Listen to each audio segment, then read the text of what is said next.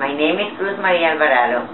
I've been introduced to Pearson same here at Medwell for my treatment of my headache and I could not sleep well. Now I have a good sleep.